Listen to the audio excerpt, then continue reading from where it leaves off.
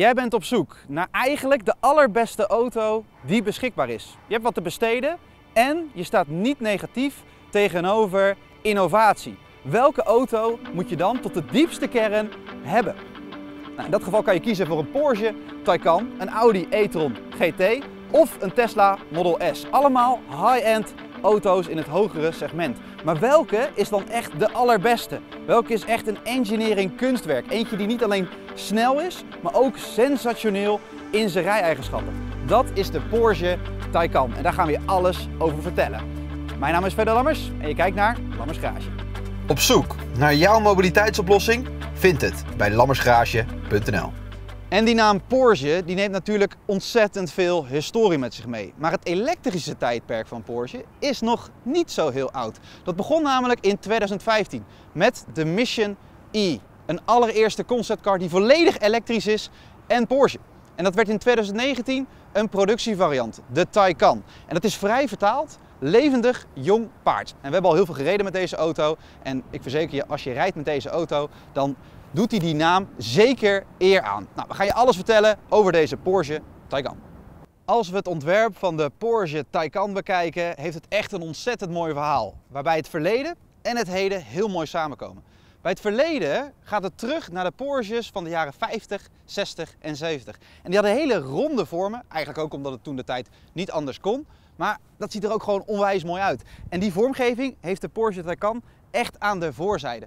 En tegelijkertijd heeft hij ook een hele moderne interpretatie die weer geïnspireerd is uit de Porsche 919 Le Mans auto. Dat zie je bijvoorbeeld in de vier LED's bij de koplamp. Maar ook omdat het een elektrische auto is en hij dus geen verbrandingsmotor aan de voorzijde heeft, heeft hij een hele naar beneden lopende neus. En dat kan omdat het een elektrische auto is. En dat is weer gunstig voor de aerodynamica. Wat ook gunstig is voor de aerodynamica, zijn hier luchtinlaten waarbij de lucht langs de auto loopt en zo op een optimale manier zo langs de auto gaat. En wat je dan ook ziet als je zo de auto vanaf de zijkant bekijkt, is dat hij hele ronde vormen heeft. Dus weinig scherpe lijnen, maar alles om de lucht er zo optimaal mogelijk langs te laten gaan. En als je hier dan komt, dan kom je ook eigenlijk bij een keuze als je een Porsche wil samenstellen. Want je kan gaan voor de sedan, je kan gaan voor de sportturismo of de cross turismo. En die twee, dat zijn allebei stations. Alleen de ene die heeft nog iets meer een uh, vormgeving, waardoor je er ook lekker mee door het zand kan crossen. Als we de auto aan de achterzijde bekijken, dan zien we ook weer een moderne interpretatie van het Porsche design. Dus een kenmerkend doorlopend achterlicht met Porsche erin verwerkt, maar met hele futuristische stijlelementen waardoor het echt een auto van nu wordt. En ook alles weer voor optimale aerodynamica. En dat is een interessante, want qua CW-waarde zit je met de Taycan op 0,22 en met de Audi e-tron GT op 0,24. Dus dat houdt in dat de luchtstromen nog beter langs de Porsche Taycan gaan dan bij de Audi e-tron GT. Wat hem dus ook efficiënter maakt. Hey, en uh, jongens, als jullie uh, zouden mogen kiezen, zou je gaan voor de sedan, de Taycan, de sportturismo of voor de cross turismo? Nick? Cross turismo. Cross turismo? Patriet? Ik denk voor de sedan. Net wat cleaner. Ja, hè? Ik zou zelf ook gaan voor de sedan. Maar ja, verschillende smaken, dat mag er, mag er zijn. Maar wat interessant is, is dat de basis van elke Taycan hetzelfde is. En die basis, het chassis, dat zegt heel veel over de rijeigenschappen van een auto. En daar hebben we al een keer wat over verteld bij de vorige aflevering van Lammers Garage. Wil je die zien? Dat gaat over een BMW Active Hybrid 3, ofwel een 3-serie. Klik dan hier op het i'tje. En wat interessant is, is dat die auto eigenlijk iets ouder is dan deze Taycan. En dat je bij deze auto echt weer een volgende stap ziet bij het chassis. Nou, wat is dan anders? In feite is de sterkere delen hetzelfde gebleven. Dus je ziet dat dit, het middelste deel, een heet gevormde staal is. En hierboven een koud gevormde staal. Dus die combinatie die zie je nog steeds. Alleen de toevoeging zijn de aluminium delen. En een hele slimme is dat ze hier aan de onderzijde een aluminium profielsysteem hebben toegevoegd. Dus dat houdt in dat ze de vorm zo hebben gemaakt van aluminium dat het extra stevig is aan de onderzijde. En daar bespaar je ontzettend veel gewicht mee. En voor de rest zitten er ook heel veel andere delen op de auto die ook van aluminium zijn. Dus ook in het chassis, dus onderhuids, maar ook de panelen zijn allemaal van aluminium. Alles om gewicht te besparen. Als jij affiniteit hebt met oog voor detail, dan word je absoluut blij van een sportwagen als een Porsche. Want als we kijken naar de panelen en hoe naadloos dat op elkaar aansluit, is dat van een ongekend niveau. Wat we soms bij sportwagens zien, is dat er wel een diversiteit zit van tussen de 3 en 8 mm bij het ene of het andere paneel. Bij Porsche en specifiek bij deze Taycan is het overal 4 mm. Ook als we de laklaag spiegelen, dan is het een streling voor het oog. Je ziet nergens een veldje of oneffenheid. Het is echt de kwaliteit van Porsche. En dan denk je wellicht van hé, deze kleur is gunstig, maar pak een willekeurige andere Porsche en kijk naar de laklaag, dan zie je dat de kwaliteit van een ongekend hoog niveau is. En dat wordt bevestigd door de laklaagte diktemeter. Overal is het keurig verdeeld en het is gewoon een ontzettend klasse auto in afwerking. Een Porsche is een fenomenale sportauto door zijn rijeigenschappen. En hoe hou je als concern die standaard hoog bij je allereerste elektrische sportauto? Nou, dat hebben ze als volgt gedaan met de keuzes voor het type onderstel. Je hebt aan de voorzijde een dubbele wishbone en achter een multilink ophangsel. Best wel standaard en hoor je meer bij auto's en elektrische auto's. Maar wat uniek is, is dat vrijwel alle delen gemaakt zijn van aluminium. Dus ultra licht. En het unieke is dat er een 4D chassiscontrole in zit. En die analyseert constant de rijsituatie en meet alle krachten op de auto. Dus zowel horizontaal als verticaal. En daarop anticipeert de luchtvering en demping. En dat zorgt ervoor dat de auto constant in balans is, zoals een echte Porsche 911. Zoek je verder. Ja, nou, ik zoek de motor. Maar eh, in deze auto kan je natuurlijk lang blijven zoeken voordat je die gevonden hebt. Want er zitten natuurlijk elektromotoren in. En om dat even toe te lichten hoe dat zit. Bij de Taycan is het zo dat de instapversie achterwielaandrijving heeft. Dus één elektromotor aan de achterzijde. Dit is de Taycan 4S. Die heeft twee elektromotoren. Ook één aan de voorzijde. Waardoor die, wat de naam al een beetje zegt, 4S, vier wielaandrijving heeft. En dat zorgt ervoor dat hij veel sneller is in zijn 0 tot 100 acceleratie. Dan heb je nog een uitvoering, de GTS. En die heeft een nog krachtige achter elektromotor. Waardoor hij nog wat sportiever de bocht door kan. Dan heb je ook nog een turbo en een turbo S en die hebben nog sterkere elektromotoren. Dus afhankelijk van welke uitvoering je kiest, heb je zo steeds een volgend level elektromotor. Er is natuurlijk een hele hoop te vertellen over een verbrandingsmotor, maar ook over een elektromotor. In de basis heb je een stator, een stilstaand deel, en een rotor, een bewegend deel. En als een spanning door het magnetische veld loopt, dan krijg je een draaiende beweging. En dit principe heeft Porsche vandaag de dag helemaal gemaximaliseerd. Want een elektromotor die bestond natuurlijk in de vorige eeuw ook al. En hoe hebben ze dat dan gemaximaliseerd? Door hairpin winding. En wat ze dan doen is een S-vorm in het koperdraad aanbrengen. En dat maken ze vast middels lasertechnologie. En dat zorgt er eigenlijk voor dat je veel compacter een elektromotor kan maken, waardoor je minder gewicht met je meebrengt, het beter gekoeld kan worden en het resultaat weer is dat je meer vermogen en koppel hebt. En dat zorgt ervoor dat je echt een high performance elektromotor zowel aan de voorzijde als aan de achterzijde hebt bij deze uitvoering. De specificaties van de uitvoering die we in deze aflevering laten zien. Hij beschikt over een performance batterij met 79,2 kWh. En op het moment dat je de launch control aanzet, dan gaat hij in een overboost power mode, ofwel maximaal vermogen. En hoeveel is dat dan? 390 kilowatt. En in verbrandingsmotortermen zou dat 530 pk zijn en 640 Nm koppel. Ofwel een hele serieuze sportauto. En daarmee doet hij een 0 tot 100 tijd in 4 seconden. En als je het ervaart, dan zou ik persoonlijk zeggen dat het een stuk sneller is. Dat gaan we zo testen. Wat we ook zien is dat je ook zuinig kan rijden met deze sportauto. Als je normaal een hele dikke sportwagen pakt, dan weet je dat je lekker sportief kan rijden en dat dat gepaard gaat met veel verbruik. Maar ook als je wat zuiniger wil rijden, dat het lastig is om dat ook te realiseren. Bij de Porsche Taycan kan dat wel, want die verbruikt 180 wattuur per kilometer. Dus je hebt tegelijkertijd ook een hele comfortabele en zuinige auto. En daarmee heb je een range van 408 kilometer, al dus de WLTP. En hoe de auto zich gedraagt met 2215 kilo, daar komen we zo op. Zo zijn de elektromotoren onderdeel van de hardware. Maar je hebt natuurlijk ook software die dat aanstuurt. En dat is tegenwoordig heel belangrijk, want dat kan je optimaliseren, waardoor het weer een volgende stap kan maken. Nou, daarover later meer. Voor nu heb je ook nog andere software. Denk aan adaptieve functies die je kan bestellen als accessoire. En de belangrijkste zitten in deze uitvoering. Dus adaptieve cruise control, dan houdt hij afstand tot je voorganger en hij houdt de snelheid vast. Hij blijft netjes binnen de lijnen. En je hebt ook parkeerhulp met allemaal camera's waardoor je makkelijk in kan parkeren. Dit is echt de basis en een goed begin en wat je eigenlijk moet hebben. Je kan het nog veel verder uitbreiden, maar dit zijn wel degenen die je echt moet hebben. Het mooie van de Porsche Taycan is dat hij zichzelf kan upgraden naar het volgende level. En bij de recente updates zitten daar dingen bij die je niet direct zou verwachten. Bijvoorbeeld in de aandrijflijn.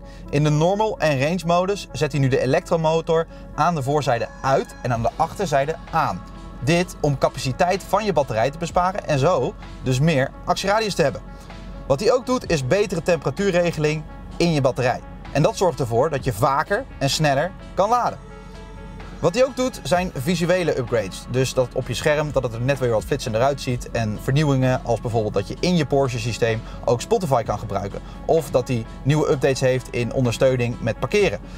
Wat ook zou kunnen is dat je achteraf opties kan kopen. Dus bijvoorbeeld keyless entry kan toevoegen. Ik zou die gewoon gelijk bij het begin toevoegen, want dat is een optie die je moet hebben. Maar die kan je dus ook door middel van updates achteraf erbij aanschaffen. Als je zo in het interieur stapt, dan zie je een hele mooie combinatie van de historie van Porsche en de toekomst.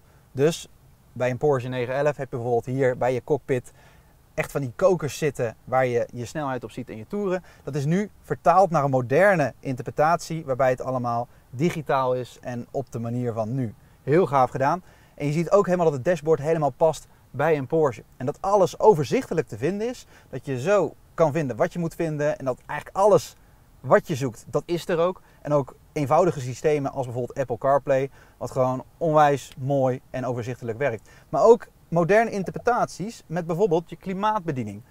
Eerder had je natuurlijk van die schuifjes die je zo moest bewegen, maar met de Porsche Taycan kan je het gewoon via je scherm zo aansturen en werkt het allemaal perfect. Als je dan wil gaan rijden, dan heb je een mooi stukje historie gecombineerd met vandaag de dag. Want je wil natuurlijk snel wegwezen. Dat wouden ze bij de Le Mans ook. En wat ze dan heel bewust gedaan hebben bij Porsche is dat aan de linkerkant de startknop zit. Dan zet je hem in zijn versnelling. Dan heb je optioneel een geluid wat echt super dik klinkt. Zet je hem even in zijn sportmodus. Doe je gordel om en kan je snel weg. Een Porsche Taycan zit vol met innovatieve eigenschappen waar je eigenlijk maar niet over uitgepraat raakt. Maar je koopt een auto natuurlijk ook voor het praktische. En om dat toe te lichten, je hebt vijf zitplaatsen, een frunk met 84 liter aan de voorzijde en bagageruimte van 407 liter aan de achterzijde. En dit betreft de sedan-uitvoering. Wil je nou meer ruimte, zowel achterin als in je bagageruimte, dan zou je ook kunnen kiezen voor de station-uitvoeringen. Daarvoor heeft Porsche de Sport Turismo en de Cross Turismo. De kwaliteit die je van buiten ziet, die ervaar je ook aan de binnenkant. Als je kijkt naar de naden en hoe alles is afgewerkt, dan is het echt het hoogst mogelijke level wat je kan bedenken. Het sluit allemaal perfect aan. De naden zijn keurig recht en er is echt niks aan het toeval overgelaten. Dat ervaar je ook als je zit. In deze uitvoering zitten er comfortstoelen en die, ja, die zijn heel geschikt om en wat sportiever mee te rijden, want je zit wel echt goed vast in je stoel. Ondertussen ook voor langere afstanden zit je goed en krijg je geen last van je kont. Het mooie van de Porsche Taycan is dat hij twee werelden weet te combineren. Een elektrische sportwagen die voelt als een Porsche 911 en tegelijkertijd een auto die je ontzettend comfortabel op een fantastische manier van A naar B kan brengen. Als je een week met deze auto gereden hebt en je stapt in elke andere auto, wil je eigenlijk altijd terug naar die Porsche Taycan. Het enige nadeel wat de auto eigenlijk kent in comfort is dat hij zo relaxed rijdt, ook met hogere snelheden, dat je in Nederland echt wel een beetje op moet letten hoe hard je nou eigenlijk rijdt. Het is natuurlijk een elektrische auto en die is snel. En om even een idee te geven hoe snel, we zetten hem op de launch control. Hij zegt activeert, dus dat is rem in, vol gas en dan rem los. En dan krijgen we de 0 tot 100 tijd. En dat doet hij in 4 seconden. Ik ben benieuwd wat onze vriend Draggy zegt. Hoe snel die aangeeft dat hij hier is. Iets onder de 4 seconden. 3,7. Nou ja, zo voelt het ook al. Een Taycan is een performance auto in alle opzichten. Ook als we kijken naar hoe snel de auto kan laden. En let op, dit is belangrijk om te weten als je de auto overweegt. En hij kan met 223 kilowatt maximaal snel laden. En dat houdt praktisch in dat je van 10 naar 80 procent gaat in slechts 20 minuten. Dat is voor een elektrische auto onwijs snel. De realiteit is dat je veel thuis gaat laden. En dat kan met een snelheid van 11 kilowatt. En daarmee zit je in 7 uur en 45 minuten weer helemaal 100% vol. Je zou optioneel ook nog kunnen kiezen om snel te kunnen laden thuis met 22 kilowatt. Dan zit je ongeveer 4 uur weer vol. Maar dat is een optie. Ofwel, als deze auto niet snel genoeg voor je is in de 0 tot 100 tijd, dan kan je beter gaan bungee jumpen. Want sneller wordt het gewoon bijna niet. Het kan natuurlijk nog sneller met een Turbo S, maar qua performance, wat hij al aangeeft, binnen 3,7 seconden naar de 100 is echt een beleving op zich. Maar wat het mooie is van de Taycan is ook als je hem weer in de normale modus zet, dat hij ook een onwijs comfortabele auto is. Waar je gewoon heel veel kilometers mee kan maken.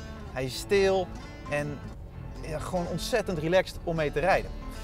Maar op het moment dat je even op een mooi wegje komt, zoals deze provinciale weg hier, en je zet hem weer in de Sport Plus mode, dan is hij niet alleen snel, maar dan is hij ook sensationeel.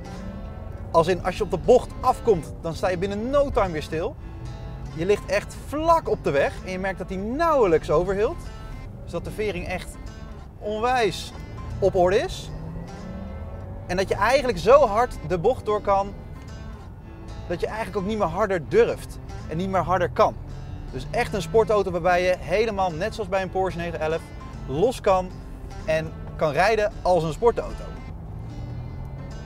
En het kan nog een stap daarbij, want dit is de 4S. En in het geval van de Turbo S heb je nog wat meer vermogen. Maar heb je ook extra stabilisatiemogelijkheden, waardoor de auto nog strakker door de bocht kan. Maar heb je dat nodig bij een auto met een kenteken waarmee je op de openbare weg rijdt? Naar mijn beleving niet. En kan het nog een stap erbij qua hoe de auto op de weg ligt en hoe je de bocht doorgaat? Ja, dat kan. Denk bijvoorbeeld aan een Porsche 718 Cayman. Die is gewoon nog lichter en gaat nog beter de bocht door. Maar ik denk dat dat ook wel mooi is. Dat dit eigenlijk al voor nu de best rijdende elektrische auto is die je kan krijgen. Maar dat er nog een stap te maken is met bijvoorbeeld een 718 eh, Cayman. Alleen dan volledig elektrisch. En die dan net zo goed rijdt. En dat die stap er nog is, dat maakt de toekomst leuk. Vandaag de dag zijn er een hele hoop goede auto's, maar een aantal daarvan zijn de beste. En die willen we je laten zien met deze afleveringen. En dat voor iedereen. Elk type persoon met elk budget. Dus laag of hoog, alles komt voorbij. En de keuze die je dan nog kan hebben is: oké, dit is een beste auto, maar wat is dan budgettechnisch de meest handige om te kiezen? Dan kan je het best naar lammersgarage.nl gaan. Daar laten we zien wat een auto echt kost per maand. Dus met aanschaf, onderhoud, energiekosten, alles. En dan kan je ook heel makkelijk het vergelijk maken. Moet ik nou een elektrische auto kiezen, een hybride of een met een verbrandingsmotor? En zo maak jij de juiste keuze.